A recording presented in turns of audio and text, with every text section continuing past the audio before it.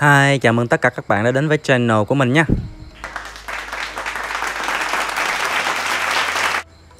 Trong clip này mình sẽ cùng với các bạn đi nhìn thấu đáo hơn về cái cách mà game đã búp cho những em pet uh, VIP nó như thế nào để mà chúng ta có cái định hướng để mà up sao cho phù hợp cũng như rất là nhiều cái clip trước mình đã nói nhưng chưa có cái dẫn chứng cụ thể. Thì chính trong cái clip này, mình sẽ cùng với các bạn đi đến với những cái dẫn chứng đó. Thì người ta nói mà, nói có sách, mắt có chứng. Vì mình đã nói quá nhiều về cái vấn đề này, nhưng mà mình chưa bao giờ mình đưa cho các bạn một cái dẫn chứng cụ thể nào hết. Chỉ là những cái dẫn chứng mà có thể nói là nó chưa mang tính thuyết phục. Thì chắc chắn rằng ở cái clip này, nó sẽ mang tính thuyết phục các bạn đấy. Hãy chờ và theo dõi nha các bạn. Thật sự mà nói nói thì nói đau to búa lớn thế thôi. Nhưng thực chất thì cái clip này chúng ta chỉ đi xem lại những trận PK vào cái thời điểm mà các top lớn như là Zaki, Movado hay là Tekaluzi còn chơi. Akrazet này là ạc của Tekaluzi đó các bạn. Thì ở cái thời điểm đó game còn rất là hay. Hay ở chỗ là nó không bút quá đà. Tuy rằng những em bếp như là Ultra Huppa vẫn là một cái thế lực gì đó rất là gây gớm trong game này nhưng mà thời điểm đó, game hoàn toàn chưa có bút quá đà. Quá đà ở đây theo cái ý nghĩa mà mình nói có nghĩa là game vẫn ưu ái ưu ái cho những cái em pet này, những em pet vip. Bởi vì phải tốn kém rất là nhiều mới sở hữu được những em đó. Dĩ nhiên rằng những em đó phải có những cái bộ kỹ năng và có pro, rồi bị động, rồi có một cái sự kết hợp giữa pro với nhau có một cái sự đồng bộ hóa khi mà những em pet đó đi theo cặp, ví dụ như White Black Curem hay là Ultra. Rồi hấp 3 thì nó có cái đạo cụ chuyên và có pro nâng lên cái sức mạnh của hấp 3 lên một cái tầm cao. Nhưng mà chưa đến mức mà nó vô lý các bạn ạ. À. có nghĩa là khi đó chúng ta vẫn tuân theo những cái nguyên tắc chung của game. Chúng ta vẫn căn cứ vào những cái chỉ số để chúng ta đánh giá một em chúng ta hoàn toàn có thể nhìn vào cái chỉ số gốc để mà chúng ta up em sao cho nó phù hợp còn hiện nay thì nó hơi khác biệt một tí. Và thật sự mà nói thì các bạn có thể thấy những em pet này đánh x4 vào em nguyệt thực của mình như cái em pet của em ờ, uh, tây long đấy. Là một em pet hệ đam nó cực kỳ bá ở thời điểm đó nó x4 luôn nhờ đánh cũng không có vào máu cho lắm. Và ở cái thời điểm đó pet của mình là công thủ rất là toàn diện và các bạn cũng nên nhớ một điều là ạc ở dưới thời của Luigi và Movado, uh, Tê Long, Zaki đều rất là mạnh. Và sau đó khi mà người ta chuyển chủ ấy, thì những cái chủ đời sau không còn gọi là một cái thế lực quá đe dọa đến mình. Và thậm chí ạc của mình được đầu tư và chăm chút cho đến phút cuối trước khi bán luôn. Mình vẫn ăn sự kiện đều đều. À, mình vẫn lên vù vù. Các bạn thấy là xu là lúc nào cũng trên một triệu xu và mình đột phá cái thời điểm này nè. Ờ, cái thời điểm mà các bạn coi ở cái clip những trận BK này thì hấp 3 của mình mới có khoảng ờ, uh, 3.000 mấy điểm vào dòng HP thôi. Rồi em Nguyệt Thật ấy, cũng chưa có đến mức mà 10.000 điểm nữa. Nhưng mà các bạn thấy đánh không có vào đam ít 4 luôn đấy. Nhưng không thể nào mà vào đam được em Nguyệt Thật các bạn có thể thấy hấp 3 của Luzi có thể nói là một em hấp 3 mạnh rất là mạnh ngang ngửa với mình. Arlogi chưa bao giờ mà mình đánh giá là thua ạc mình hết. Nhưng mà rất là may mắn là ở cái thời điểm đó mình có úp vào HP rất là nhiều. Cho nên là mình trụ được trước cái đòn tấn công của hấp 3 của Luigi các bạn có thể thấy là X4 mà hấp 3 nó lại có cái pro là nó lại tăng uh, tỷ lệ bạo kích và kết hợp với cái skill hệ ác. Vừa X4 lại vừa tăng thêm 50% sát thương. Đây khi bạo kích nữa rồi rất là nhiều cái yếu tố khác nó cũng tăng sát thương. Không nhất thiết là phải là bộ sen đỏ. Thậm chí ở cái thời điểm đó, nếu mà có bộ sen đỏ thì mình nghĩ rằng nó cũng không có thay đổi quá nhiều về cái cục diện. Tại vì sao? Vì khi có bộ sen đỏ thì chúng ta sẽ tăng cái ờ, sát thương, cái uy lực skill theo dòng thời gian. Nghĩa là cứ mỗi hiệp gì chúng ta chỉ tăng một ít một ít rồi chúng ta mới cộng dồn, cứ 5% lên. Nhưng mà các bạn nên nhớ một điều, ở cái hiệp đấu, ở cái thời điểm đó speed của mình rất là cao. Thì không có quá nhiều lượt để mà cộng dồn đâu các bạn. Thậm chí là phe địch cũng không có cái cơ hội để mà dưới 50% HP nhiều đâu, cứ vào thì đa phần là đánh một hit thôi. Và bản thân cái bộ Ho-Oh ở thời điểm đó, khi mà dưới 50% HP vẫn phát động cái hiệu quả là tăng cái sát thương rồi. Không nhất thiết là phải lên sen đỏ đâu các bạn. Cho nên là nhiều bạn nói à sau này do cái hiệu ứng của bộ sen đỏ, thì mình đồng ý, nó có thể là do cái hiệu ứng của bộ sen đỏ một phần. Bộ sen đỏ nó làm nên sức mạnh nhưng mà các bạn cũng nên nhớ một điều là thậm chí nếu mà chúng ta có sen đỏ uh, sen đỏ uh, hô ô thì chúng ta cũng có những cái sen đỏ khác. Và mình luôn úp công thủ toàn diện. Thậm chí mình thử cái bộ vĩnh hằng vẫn không thể nào trụ nổi. Nhưng các bạn nên nhớ một điều là nếu mà giữa ultra pk với nhau á thì nó vẫn giữ cái nhịp như bình thường. Có nghĩa là sát thương vẫn như trước. Tất cả đều như trước hết là đánh vẫn không vào máu nếu mà ultra hay meganet của phe địch đánh với nhau bình thường. Nhưng nếu mà phe địch là cộng hưởng thật sự thì em ultra của mình chịu không có nổi. Nó vào, nó đánh sát thương rất là cao. Ngày trước thậm chí x4 luôn mà các bạn, vẫn không có vào máu.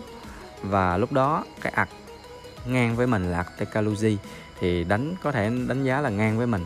Chỉ sau này thậm chí Luzi bỏ ạc thì ạc nó mới lệch đi một tí và mình mới giữ cái vị trí độc tôn là khi đó Luzi không còn chơi nữa. Và những cái chủ sau thì dĩ nhiên sao mà đầu tư bằng Luzi được. Đây các bạn cũng nhìn thấy mà một điều mà đúng không? Là ạc up 11 trước cái thời điểm hiện nay hiện nay Minh Minh cầm thì mình không nói.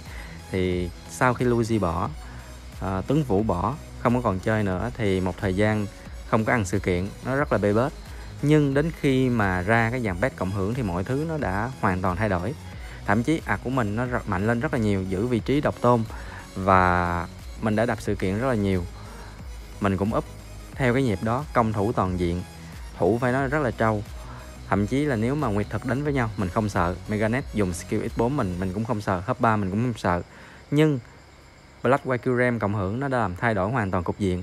Nó bỏ qua mọi cái nguyên tắc chung của cái game này. Cho nên dù bạn có úp cỡ nào đi nữa, thì nó vào nó cũng oanh hit bạn nếu mà nó đánh trước cho nên là theo cái quan điểm của mình, thì cái việc mà hiệu ứng của cái bộ sen đỏ là một phần thôi.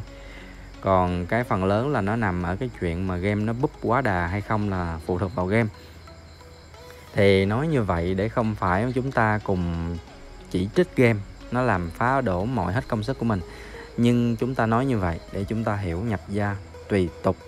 Chúng ta phải biết cách để up như thế nào cho nó phù hợp ở mọi cái phiên bản thì đối với Việt Nam ấy ở phiên bản Việt thì các bạn không thể nào các bạn có một cái cách up đồng bộ nhất quán từ đầu đến cuối được. Mà các bạn phải xem ở mỗi phiên bản ấy, game nó theo cái hướng như thế nào.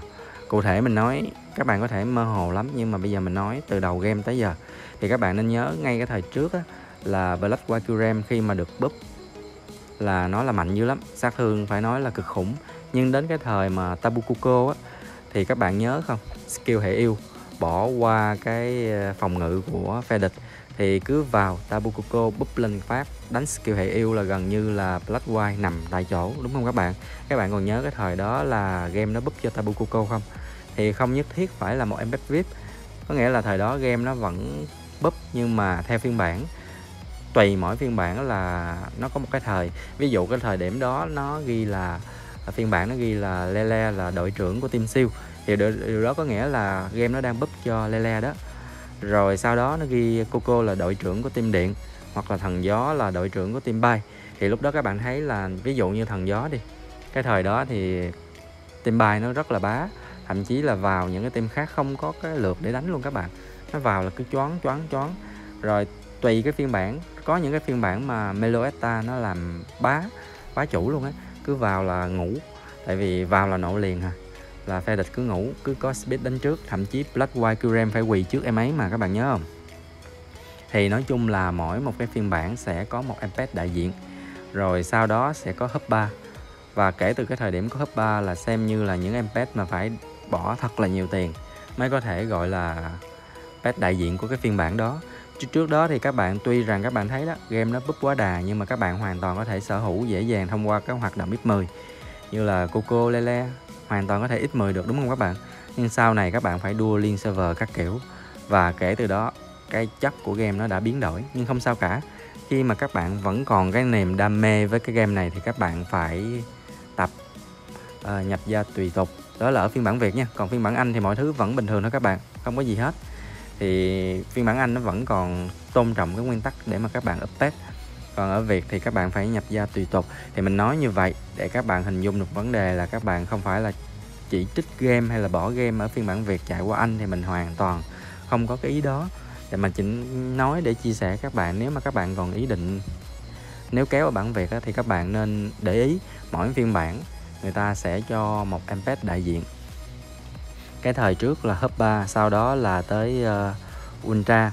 Rồi sau đó nữa thì uh, là Black White RAM cộng hưởng. Nói chung là dàn pet cộng hưởng. Và đến thời điểm hiện tại thì dường như rằng mình chỉ có thể dám nói dường như bởi vì mình chưa hề trải nghiệm qua nên mình không dám kết luận. Thì dường như rằng Hub 3 đã quay lại và đó là Hub 3 bá chủ các bạn ạ. À. và game nó luôn cố tình để một cái lỗi nhất định giống như là Black White QRAM có một cái giai đoạn á, là cứ vào là skill hệ băng gần như là nó phát động cái hiệu quả là đánh gây 200 phần trăm sát thương luôn các bạn. Và sau đó thì nó còn phát động tăng 100 phần trăm speed. Thì nói chung là có hai em hay một em gì nó cũng như thế à. Các bạn chỉ cần gọi một em thôi các bạn có thể hưởng được cái hiệu ứng của cả hai em. Thì hầu như là cứ đánh hẹp thứ ba là nó mặc định là nó tăng speed rồi. Là lúc đó là game cố tình để lỗi cả 4 năm tháng các bạn ạ. à và cái thời điểm đó lỗi, đã gọi là lỗi rồi mà game không fix rồi. Cho nên là dù bạn có lấy bất kỳ pet cộng hưởng nào khác cái sức mạnh nó tương đương đi nữa, thì game nó đã búp cho Black Wake RAM quá đà rồi thì phải chấp nhận thôi. Và ở cái thời điểm hiện tại thì theo mình thấy là dường như nó búp cho hub 3 thì xem review của các bạn thì cái skill nộ ở Tiki kỹ Z nó đã nộ quá đà đi. Nó nộ mà sử dụng hoài được thì game sẽ rất lâu nữa mới fit theo mình thấy là như thế. Mà hoặc có fit thì cũng fit ừ, cái skill đó thôi nhưng sức mạnh của hub 3 dường như nó vẫn còn len lỏi đâu đó. Game vẫn chừa cho nó một cái ờ, sự trở lại một cái con đường cho hub 3 tại vì hub 3 từng có một thời gian là bị bỏ qua một bên rồi các bạn ra rìa đó. Rồi sau đó nó quay lại nó quay lại và dần quay lại.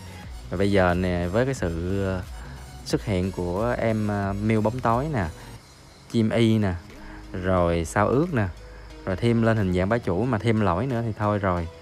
Nếu mà thật sự mà nói các bạn nếu mà có điều kiện thì thay vì các bạn lấy cộng hưởng hay là những em pet mà đắt tiền hay phải đua liên á thì các bạn nên sở hữu hấp 3 ở mốc 50k thì đó là quan điểm của mình. Còn ở Anh á, để sở hữu hấp 3 bá chủ khó lắm các bạn phải đua liên server mà liên thì bên này máu lửa lắm. Còn uh, quan điểm của mình ở bên Anh thì nó vẫn giữ cái nguyên tắc là vẫn chúng ta vẫn coi vào những cái chỉ số gốc của pet để chúng ta up pet. Cho nên là không nhất thiết phải là đú theo phiên bản. Một em pet các bạn có thể chơi qua nhiều phiên bản. Thậm chí bây giờ hub 3 không cần phải lên hình dạng bá chủ nha vẫn còn chơi được ở phiên bản Anh. Rồi uh, Black Wake cộng hưởng vẫn chơi bình thường Lucia vẫn bình thường. Nói chung là mọi pet kể cả Ho-Oh bá chủ vẫn bình thường. Nó vẫn còn rất là bá phụ thuộc phần lớn vào cái cách mà các bạn up thôi chứ không phải là phụ thuộc vào phiên bản nha các bạn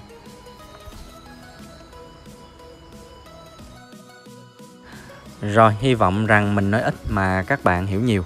Mình cũng đã đưa ra những cái dẫn chứng cụ thể. Và các bạn nên nhớ một điều rằng Feynman và Apollo ở cái thời điểm đó cũng rất là mạnh. Mạnh cũng không kém gì Tekaluzi. Tekaluzi thì hơn một bậc là dĩ nhiên rồi. Vì cái ạc có nguồn gốc uh, từ top 1 liên từ rất lâu rồi và Tekaluzi đầu tư rất là tốt. Và sau đó thì Apollo và Femin lên.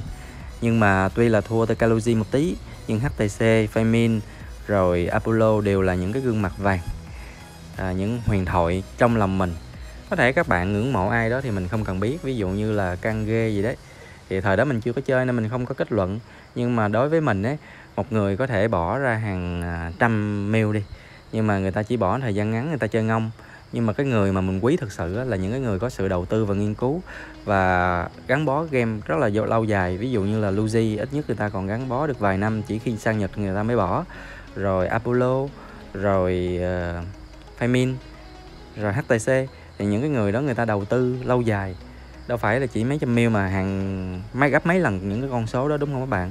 Thì nói chung là đối với mình họ là huyền thoại. Cho nên là các bạn kêu mình không nhắc ờ, căng ghê chẳng hạn. Thì xin lỗi mình không hề khi dễ ai ở đây hết. Nhưng mà đối với mình một cái người mà chỉ chơi cái thời gian ngắn, mình chưa có thấy được nhiều cái sự cống hiến cho cộng đồng. Ờ, Thật các bạn thấy đó Faymin là những cái người mà luôn đưa ra những cái đội hình sáng tạo. Còn Technology là luôn có cái sự tìm tòi, học hỏi và nghiên cứu trong đó. Rồi HTC cũng tương tự như vậy, có những cái cách update rất là độc đáo.